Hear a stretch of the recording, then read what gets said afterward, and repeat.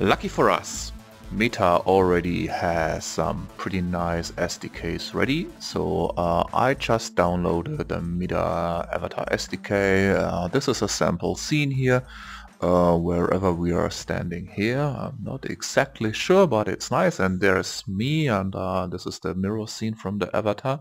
As you can see, lip sync is already ready, already ready. And uh, I just had a look at the code, and this really looks not that complicated. There are some uh, tweaks we have to do, especially for recording and transferring this over the network, but I think this will be manageable. But right now, um, apart from um, the networking scene, this is already the beginning for basic recording. And um, yeah, with a mirror, uh, one could actually do the recording from the headset without the need of a second camera. Well, we will have to see if this works out. This is the sample, the mirror scene from the avatar examples from the avatar SDK from Oculus.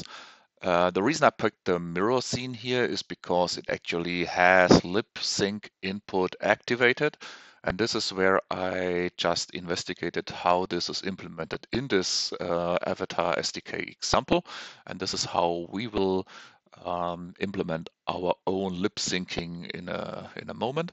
So I just wanted to um, record my findings here so you can actually uh, also have a deeper look into this. So if you install the Avatar 2 SDK from Oculus, you will have this assets Oculus folder here. Uh, within this folder, we have examples and um, the example we are interested in is the mirror scene here, which is open at the moment because actually this one has lip sync active. And if we look at this mirror scene then, uh, we will find the two entities. This is a mirror scene, so we have our avatar and a mirrored avatar, which basically the very same thing uh, with two less uh, scripts attached. And um, if you if we're looking at this this avatar, which has uh, the sample avatar entity script, which is um, which which derives from the uh, normal avatar entity script, we see these two uh, inputs. So this one is for the for the body tracking, for the movement, and this one is for the lip syncing. And here in the lip syncing, we have attached a lip sync uh, AV, uh, uh, what's called uh, OVR lip sync uh, behavior, I think it is, um, which is part of our lip sync input script, which is again part of the lip sync input game object here. So in this one, we have um, three things attached, audio source, the lip sync mic input, and the OVR avatar, uh, avatar lip sync context script, which derives from this. And what this thing does is it gets the audio from the microphone, plays it to the audio source, then the audio source is processed by the lip sync context, which in turn calls the lip syncing SDK and API to actually synchronize the input from the microphone uh, with the lips or the face of the avatar. So just have a quick look uh, how this is implemented. So uh, we're starting with a lip sync mic, mic input. So if we are looking at this one, um, most of the code actually deals with uh, these, these different modes here. Um, so we can push to talk, hold to speak, um, or constant speak or manual. Um, the important part is we have this audio source where we are playing to and um, we, we are we're getting our, our microphone. So uh, in the start code, let's have a look here. In the start code, we are actually picking um, the, the, the microphone. No, that's not in the start code. It's actually even in the in the in the update code here. This is um, the initialize microphone if it's not already initialized, which is quite simple. It just uh, goes over all the microphones, uh, microphone devices which are found, picks either the first one or if we have a, if we want to have the, the one from Oculus or Rift, so from the Quest or Rift, then we are preferring this one and picking this instead of the first. And uh, this is basically all it does. And then the major thing happens here in the process mic activity process mic activity. Uh, just here, this is all this code with uh, um, whether we are recording at the moment or not.